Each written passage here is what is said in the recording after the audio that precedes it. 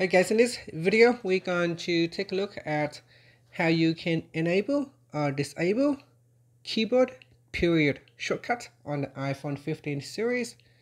First, let's go back to the home screen by swiping up at the bottom of the screen. Now on the home screen, tap on settings. And in the settings page, we scroll down and tap on general. Next, scroll down and then tap on keyboard now in the all keyboards section, you want to scroll down and then tap on the the dot shortcut or the period shortcut.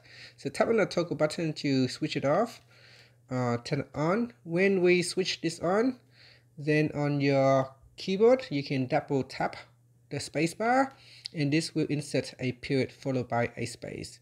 So useful when you are at the end of the sentence, so you can simply double tap on the spacebar to automatically insert the period, and then it will follow by a spacebar, um, a space. So here, let's um, take a look at an example. So if I type in a sentence, this is a sentence.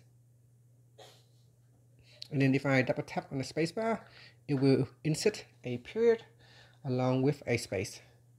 And that's it. Thank you for watching this video. Please like and subscribe to my channel for more videos.